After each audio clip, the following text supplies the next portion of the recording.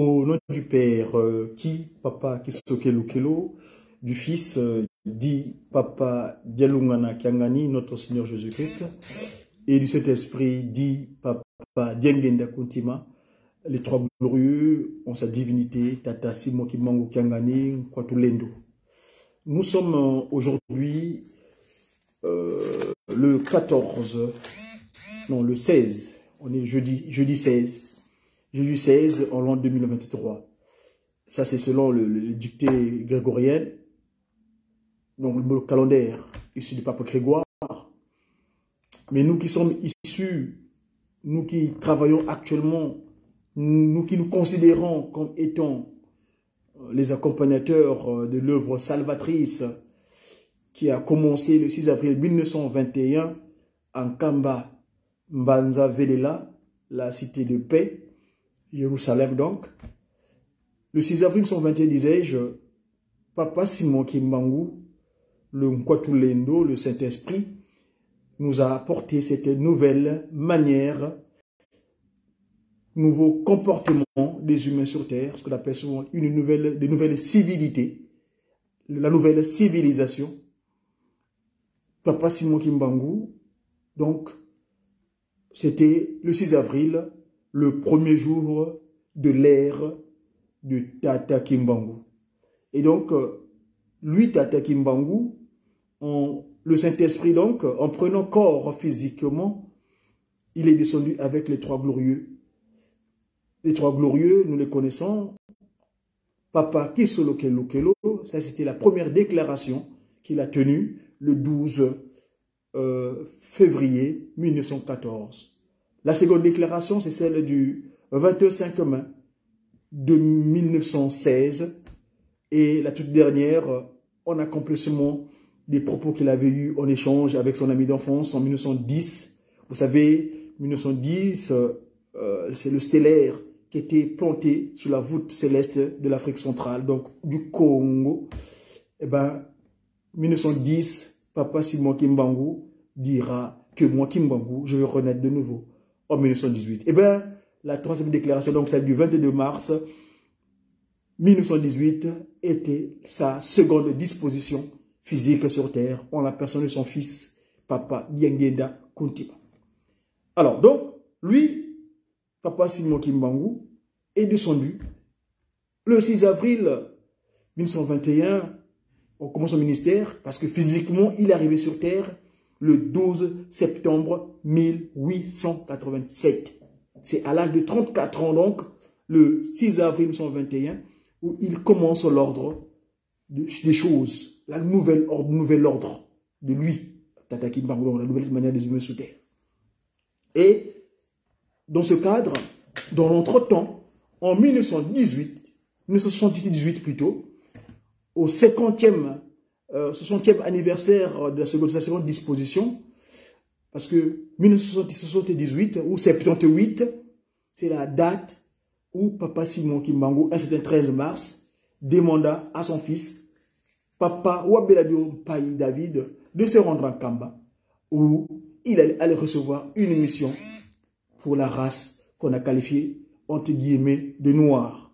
C'est-à-dire qu'à cette époque, nous étions vraiment des noirs.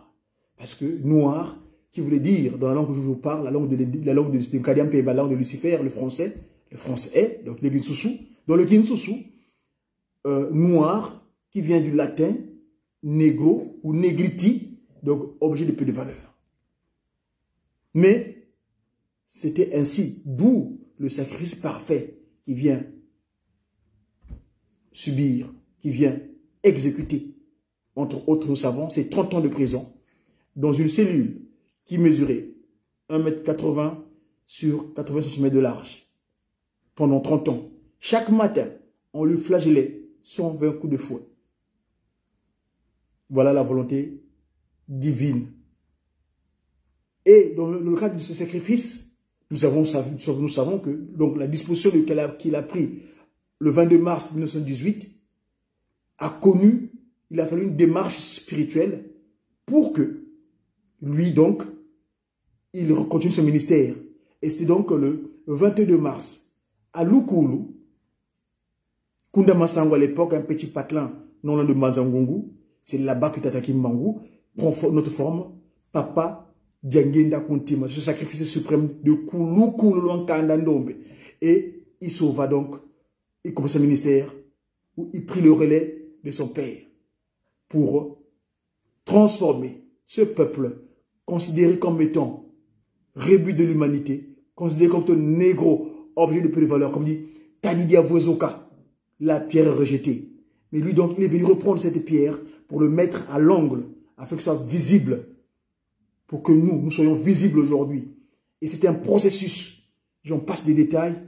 Nous voulons vous ramener à une date, parce que sa divinité, dans sa troisième disposition, telle qu'il est actuellement, il est en ce moment, en ce moment je vous parle, il est dans le territoire qu'on appelle le Congo français. La France est les Français. Mais moi, excusez-moi du terme, moi j'appelle ça, parce que Papa Simon Kimbangu, il est disposé en trois formes. La tête, c'est au Congo Angola, qu'on appelle Yaya Kanda, notre capitale royale à l'époque. Et son abdomen, c'est le pays continent, s'il vous plaît, la RD Congo. Hein? Sa, sa, sa, posture abdominale, Tata Kimbangu. Ce pays continent qui est bordé de neuf frontières. Pourquoi neuf? On aura l'occasion d'en parler une autre fois. Et les pieds se trouvent là où il est en ce moment-ci, à Mbanza Kimbangu. Pourquoi Mbanza Kimbangu Excusez, ça c'est un langage, c'est pour moi, hein, dans le cadre de mes communications. Ce territoire-là, c'est là-bas où se trouvent ses pieds.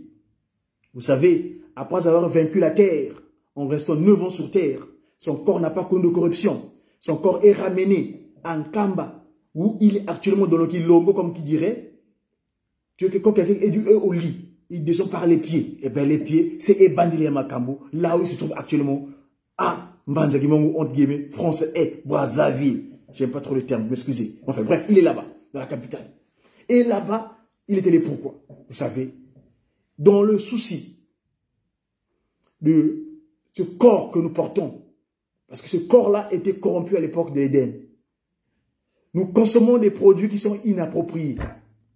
Ces produits que nous consommons ne sont plus en phase avec le corps que papa qui se lui-même le potier avait structuré. Et lui, il dit, il vient avec un leitmotiv.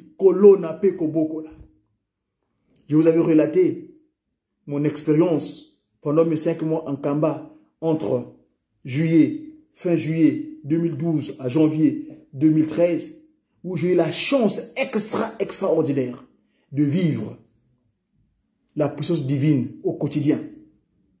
Parmi les expériences que j'ai connues là-bas, une fois, Tata Nzongi Anzila, son conseiller papa André Mbenza Kiangani, moi que j'appelle aujourd'hui la seconde disposition de Papa Dialungana Kiangani, parce que le quantique, nos amis de, Ajam nous ont chanté ça dernièrement en Kaba, je l'ai filmé, c'est disponible dans nos réseaux sociaux. Mono Dialungana Mumbenza Kiangani Vovilanga. Et oui. Et donc, lui, Papa là, celui qui nous montre le chemin. Nous, nous sortons des festivités du 109e anniversaire de l'arrivée de Dieu le Père sur terre il nous a relaté un rêve. Vous savez qu'eux, ils ne rêvent pas. Hein? C'est une façon de parler, c'est une façon de communiquer le message, simplement. Mais, parlons de, ainsi, tel que ça s'est passé, pendant la marche joyeuse, les trois glorieux ont accompagné les marcheurs de Kamba. Avant qu'ils viennent devant la résidence, comme il est d'usage. Et Papa Mfouambanza, André, Mbenza Kiangani, le conseil Velela nous a fait état des rêves. Et dans ce rêve-là, c'est le que papa, qui se lokele, a donné à la paki. Nzayizele mumavangu mambi, mulembi zaya munza. Le monde est dans les mauvaises pratiques, dans les mauvais comportements. Pourquoi? Parce que eh bien, l'humanité ignore quelles sont les difficultés à venir. Mais Papa Kimbangu, je continue ce continue parce que c'est ça le fondamental de ma communication aujourd'hui. Il dit, mumavangu mambi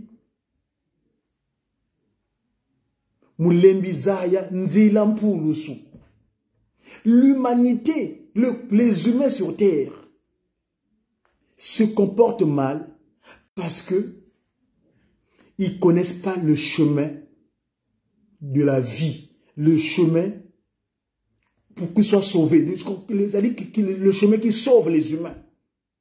Le chemin. Et or, nous le savons aujourd'hui, c'est un kamba. nzayizele umavangu mambi mulembi zaya mpasi zichikwiza munza nzayizele mumavangu mambi mulembi zaya nzila ya et le cantique continue il dit keluyoiko munasambila ne nous décourageons pas en suivant sa divinité tata kiangani parce que sambila c'est-à-dire prier nous devons appeler qui? Parce Congo, on dit Sambila, Omandombe. Nous, aujourd'hui, nous expliquons des faits euh, scientifiquement. Hein? La lettre S, Omandombe, et la lettre T, ils ont la même forme géométrique.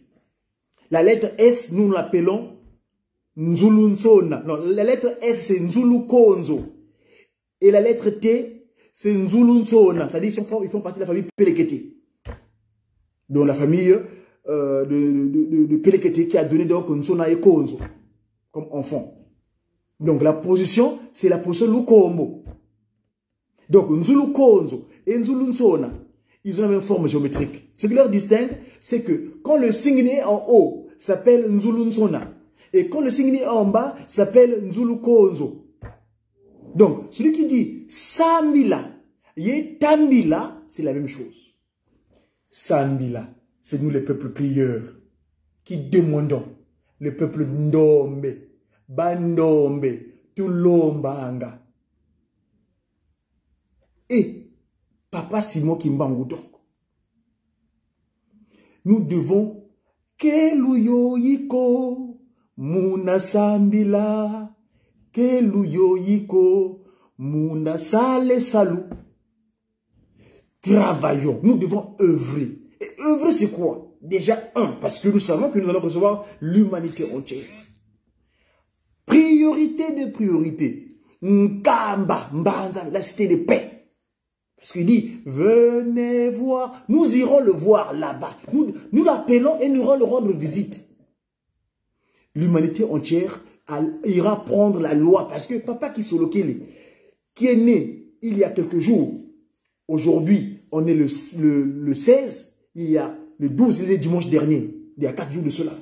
Lui, il avait dit, quand j'irai ma